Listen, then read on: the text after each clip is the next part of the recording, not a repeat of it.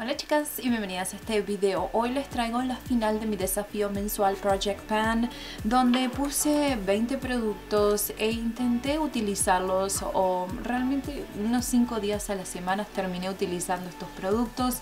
No me di un mes completo porque bajé esta introducción a este nuevo concepto que voy a estar haciendo en el 2017 a mediados de diciembre, así que realmente no pude terminarme obviamente todos los productos que me propuse, ya que la idea detrás de este desafío es ir rotando productos en mi colección cada mes, como creándome una pequeña canastita o, o creándome un pequeño, no sé, como cajón donde puedo poner los productos que me voy a estar concentrando únicamente en ese mes y la única excepción que hago es si hay algún producto nuevo, algo que necesito probar, alguna cosa que realmente entonces tengo que ponerle pausa al producto que tenga en este cajón y poder utilizar los nuevos y eso ha sido algo que me ha pasado inclusive en estas últimas dos semanas. Así que voy a empezar rápidamente, si ustedes se perdieron la introducción a este desafío y quieren ver cómo va a funcionar y más o menos mi idea para este próximo año de por qué estoy haciendo esta clase de desafíos mensual, también van a ver esos que son como de temporadas, pero por qué estoy haciendo específicamente este, les voy a dejar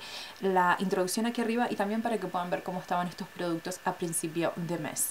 Así que voy a empezar con el primero que me terminé y no iba a ser una sorpresa realmente, es el Maybelline Baby Skin. Este es un primer, lo abrí, le saqué hasta la última gota, realmente me gusta mucho, pensé que era muy similar a varios primer que tengo a base de silicona en mi colección, así que me sirvió como para ponerlo de un lado de la cara y del otro lado probar el otro primer y ver cómo se compara lado a lado. Eso va a ser un video que lo van a ver más adelante. Pero por ahora estoy súper feliz de poder haber terminado este producto que hace mucho tiempo tenía en mi colección. El siguiente que me terminé fue un lápiz de ceja. Este es el de Chela y es en el Tantalizing Taupe. Creo que así es como se llaman. Eh, les había hecho una marquita estaba como por ahí más o menos pero ya no sale más nada. Voy a intentar darle vuelta Suena, suena, suena, pero no sale absolutamente nada. Este color me encantó, se ve súper natural en mis cejas, no es uno de los más dramáticos, sale cerca de 20, 20 dólares si no me equivoco, así que era algo que quería aprovechar antes de que se fuera a secar. Sin embargo, me ayudó a pensar que necesito realmente enfocarme en utilizar los lápices que tengo en mi colección y decidirme cuál es el mejor método para mí. En este momento en mis cejas tengo uno de la marca Sephora Collection y ese es el que más me ha gustado de todos los productos de cejas que tengo en mi colección en este momento, inclusive sobre el de Anastasia. Pero encontrar, o sea, a lo mejor tener un lápiz, uno de ese de Sephora Collection, no sé, es como algo que estoy tratando de decidir si realmente necesito tener lápices o no. Sin embargo, esto lo disfruté, me encantó, la fórmula buenísima y el color especial para mi tono de pelo. El siguiente producto que me terminé es el Anastasia Clear Brow Gel. Este me lo terminé y lo digo, me lo terminé porque realmente esto es todo lo que queda en la varita y lo malo de esto que es como es el remanente, lo que va quedando de cada vez que te pasas este producto en las cejas, llega un momento del día que me queda blanca la ceja. Entonces sí la fija, pero tiene demasiado color de todos los diferentes productos que he estado poniendo en mi ceja por los últimos dos años que he estado usando esto. Así que esto es un producto que realmente no tiene más nada para sacar y que en este momento ya no funciona. Le quité el detenedor y todo para poder sacar lo máximo. Así que bueno, este es un producto que ya terminé. finalmente una máscara de pestaña, estas son las mini de Benefit The Real. Esta fórmula funciona muy bien, lo malo que tiene es que como no es una fórmula muy húmeda, se seca fácilmente y cuando se seca empieza como a caerse, se empieza como flakes, empiezan a caer a la zona de abajo del área de los ojos. Ahora, el siguiente producto que realmente no me terminé, pero que hice mucho avance fue el primer, y lo voy a ir marcando en este momento para que ustedes vean, el primer de ojos de Lorac. Yo siento que esto tenía como una pequeña burbujita o algo que hizo que se pudiera llegar hasta esa zona tan fácilmente. Eh, lo disfruté, sin embargo lo necesito seguir utilizando y poder terminarlo antes de decidir si es algo que necesito comprar. Tengo otras muestras de otros primers, entonces mantener este en mi colección, a pesar de no haberlo terminado, haberle hecho este avance, realmente me pone muy feliz. El siguiente producto es uno de Jordana y es en el Continuous Almond. Les voy a poner ahí, más o menos era como lo estaba midiendo apenas hice un poquito de avance con este producto. Realmente me di cuenta que esto funciona para mí para limpiar las cejas y no como primer de ojos. Lo intenté utilizar de esa manera y no funcionó.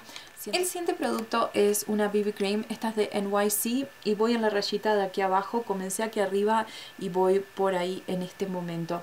Esta es una de las BB Creams que me encantó inicialmente, pero que me he dado cuenta que esto es algo que realmente voy a tener que jugar con él para poder terminarlo porque ahora se cambia el color y se convierte en algo más oscuro, es decir, que se oxida. Entonces tengo que tener mucho cuidado a la hora de usar este producto. Como pueden ver, lo usé mucho, lo usé mucho solo, lo mezclé con las gotitas de The Body Shop que les dije que estoy usando como para aclarar o oscurecer las bases mm, es la única manera en que puedo hacer que esto funcione. El siguiente producto es el Pixie Correction Concentrate. No sé si se va a poder ver ahí tampoco se veía mucho en el primer update. Esto está casi casi tocando fondo pero no exactamente. Lo he estado utilizando con esta brocha de Laxi que es como con una forma en punta. Tomo un poquito, lo aplico, cubro las ojeras. Esto no es un concealer, es un así que es específicamente para las zonas más oscuras del rostro. No me termina de convencer la fórmula ni me termina de convencer el color. Así que no lo pude terminar, pero sí hice bastante avance en este producto. El siguiente, eh, que tengo el siguiente producto que tenía en este desafío que tampoco terminé y no les puedo mostrar realmente el avance porque le saqué el stopper porque ya no estaba saliendo eh, más producto, es decir, salía muy poquito, así que ahora sí puedo ver para adentro. Realmente no le queda mucho, lo voy a seguir utilizando como un iluminador.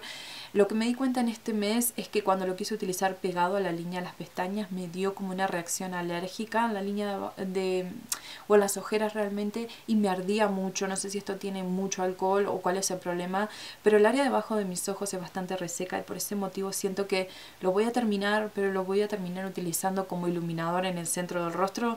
El siguiente producto es uno de NYC y este es un polvo, así es como se ve. No pude tocar fondo realmente. Este es de la misma línea de la BB Cream de NYC y tiene el mismo problema.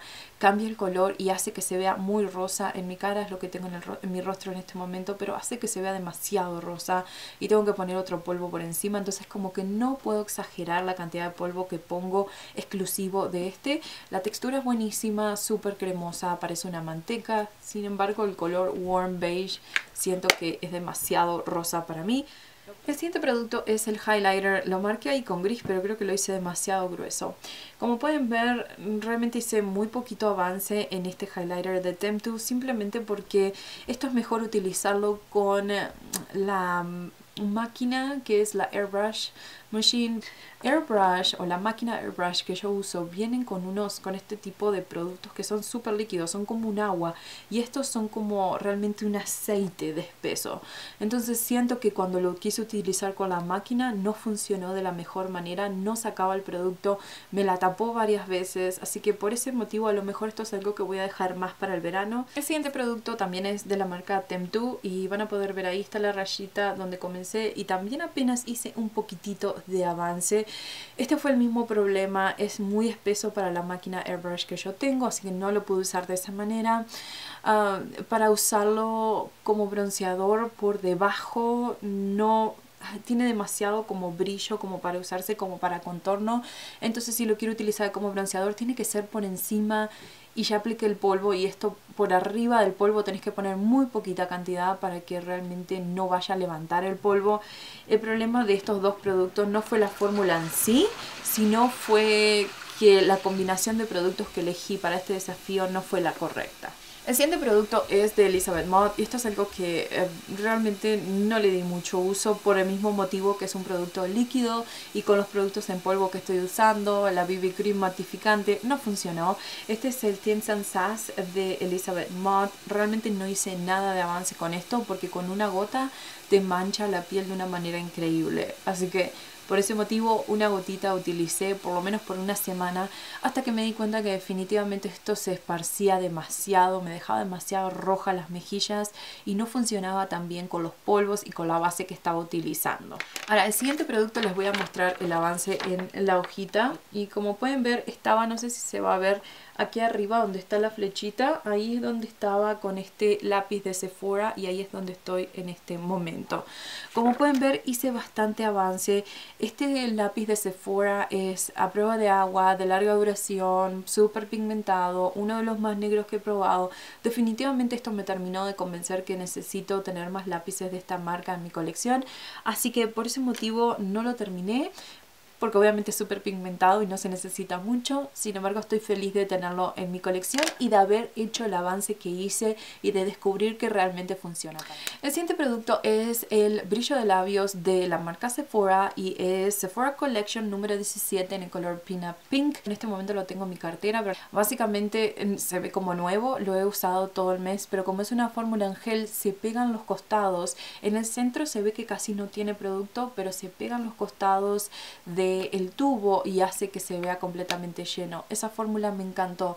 De hecho, me atrevo a decir que me gusta más que la Baxom. Y ustedes saben que tengo una colección de brillos de labios Baxom increíble y que no lo cambio por nada. Bueno, esta es lo opuesto. Es completamente lo opuesto de fórmula, de cómo se sienten los labios, de textura. Sin embargo, me encanta y estoy obsesionada con esta línea.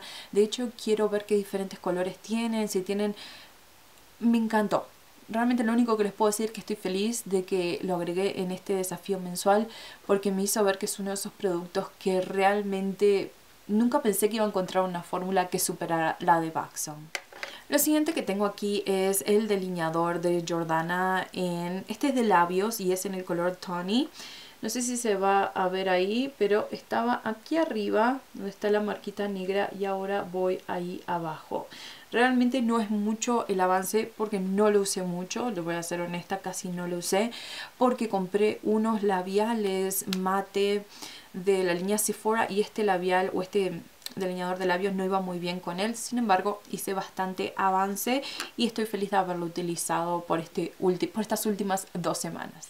El siguiente producto es un labial y este también es de la marca Sephora Collection y me encantó tanto que tenga un set nuevo de este labial. O sea que ustedes van viendo que esta clase de desafíos, si bien me ayudan a terminar productos, también me ayudan a descubrir productos favoritos. Voy ahí, en ese momento como pueden ver, ahí está la rayita negra, ahí es donde estaba cuando comencé hace dos semanas. Obviamente yo sabía que en dos semanas no iba a poder terminar completamente este labial. Es de una fórmula como súper clara, es decir, no es muy pigmentado, sin embargo me encanta cómo se sienten los labios, realmente es como un bálsamo de labios cómodo con un color muy bonito. Y a pesar de que este es un rosa que realmente no es de los rosas que más favorecen a mi tono de piel como pueden ver ahí voy a intentar hacerles un swatch un poquito más grande para que lo vean. Realmente la fórmula en sí me enamoró lo suficiente que quise utilizar este labial casi todos los días por las últimas dos semanas Finalmente tengo un bálsamo de labios de la marca The Organic Pharmacy. Estoy hasta aquí abajo. Realmente esto no le quedan muchas aplicaciones. Serán 3, 4 aplicaciones.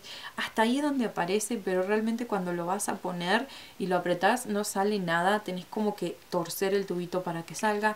Esto es algo que voy a seguir utilizando. Sin embargo, en sí, si hoy me preguntara si es algo que volvería a comprar, no lo creo. Se siente mucho como vaselina. Y por más que sea orgánico, la vaselina no es uno de esos productos que me gusta tener en mis labios porque se sienten bastante pesados. Así que bueno chicas, eso fue todo por este desafío. Espero que hayan disfrutado de este video. Gracias por acompañarme hasta el final. No se pierdan la introducción del nuevo desafío del mes de enero, los productos que voy a agregar que van a ser completamente diferentes a estos y la idea con la que entro a ese desafío y a ver cómo termino a finales de enero.